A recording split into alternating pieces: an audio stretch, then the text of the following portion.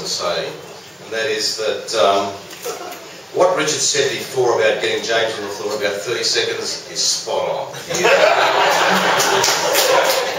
so, uh, Cloe, a bit more movies, please, something like that, you know, defence of the country, all those sort of things. Um, we've still got photos at home of James and Cloe, my fair lady. I know Cloe, yes, but we've got them. My fair lady, Year 12 formals, and so on. And uh, they're wonderful. They're the first part of how this relationship progressed. Obviously, there been a lot of photos out of tonight, and that's really wonderful as well. But um, look at the whole progression. It's been fantastic.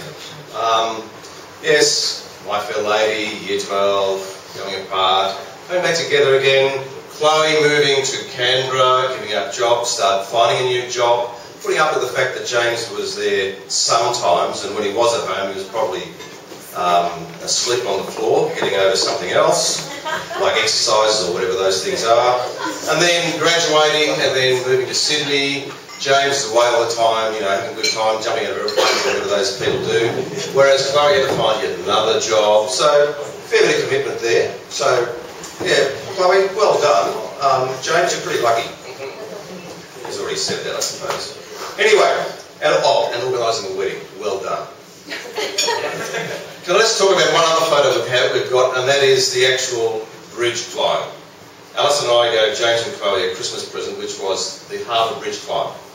So they went and did it, and we have the photos to prove it. On the top, you know, Opera House in the background, that sort of thing.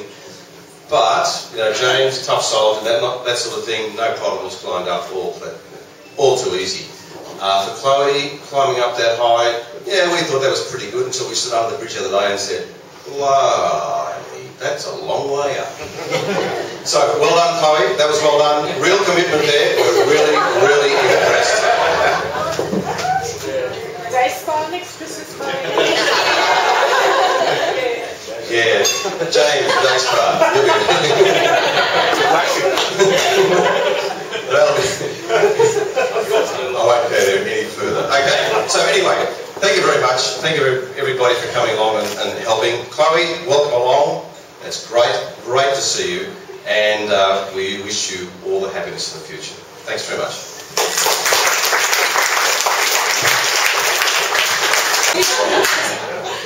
He's used to it. Sorry, he's used to it. But you know what they say, James?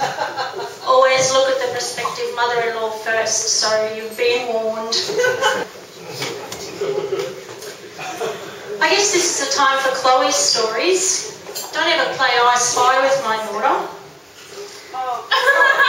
I Spy with my little eye, something beginning with E. And then after an hour, you get, uh, you guys, it's accelerator.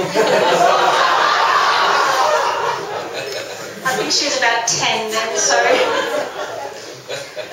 Cloe, we remember you for the palm tree on the top of your head when you were little, the numerous dance costumes from the time you were two and a half, your long hair, your stubbornness, and I'll wear you? Thank you, Alison and David, for your support and love for Cloe. Thank you, Ma, for always being there for all of us.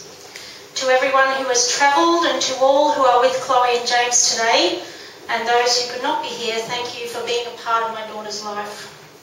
Finally, I'd like to leave you with a few words of advice that were prepared for me by your grandfather Cloe. In your endeavour to find true happiness, sometimes you will be rewarded Sometimes you will be frustrated. Sometimes you will need prayer. Sometimes you will need trust. Sometimes you will need understanding.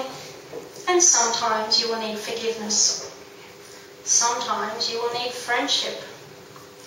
Sometimes we, hopefully, will be able to help. But remember always, you will need love. So it is with great honour that I welcome James into our family I wish you both good health. I wish you happiness. I wish you riches in your very long life together.